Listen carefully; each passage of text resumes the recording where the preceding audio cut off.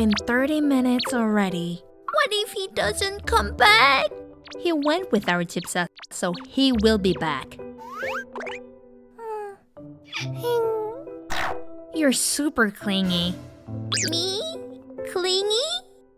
Three behaviors of cats who cling onto their owner. When they always want to be with their owner. I'll tell you why I said you're clingy. Number one, they keep on crying. When cats cannot find their owner, they may cry like they are looking for her. Oh, Generally, adult cats do not communicate with each other using crying sounds. Oh my god. This is why I say you're clingy. But I want to be with my Jipsa. Therefore, when house cats are crying, hmm? it is most likely that they are calling for their owner. Jipsa will be back soon. Huh? Still quite a bit left. Gosh, stop. Number two, they keep on following around. Don't you follow Jipsa around all day long? Yeah.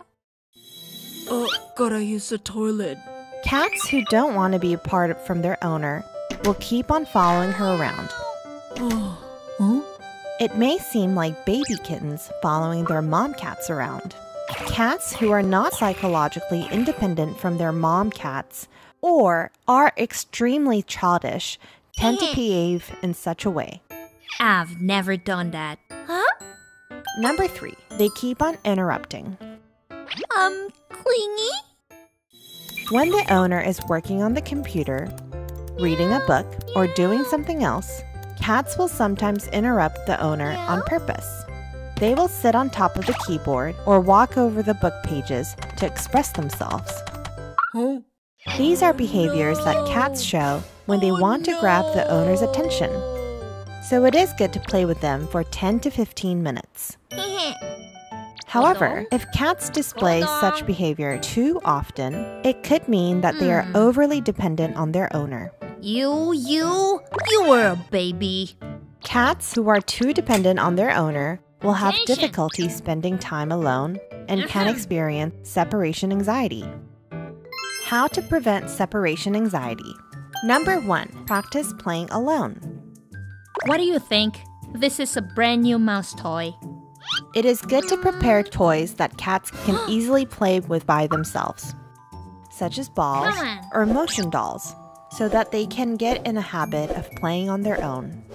If your cat stops looking around for you and starts to play with toys on her own, you should compliment and reward her.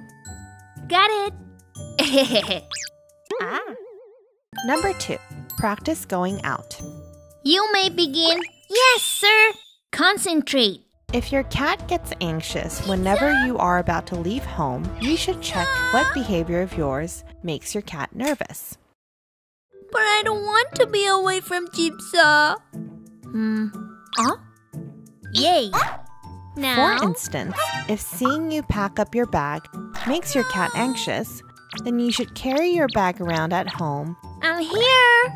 even if you're not leaving, so that your cat can get used to the situation. this is fun. Huh?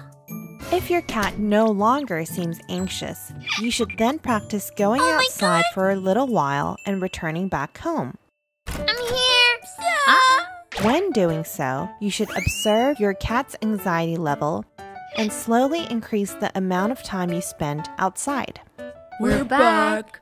Once you return home, you should spend oh. ample time with your cat. You must have been fine. Let's have some snack.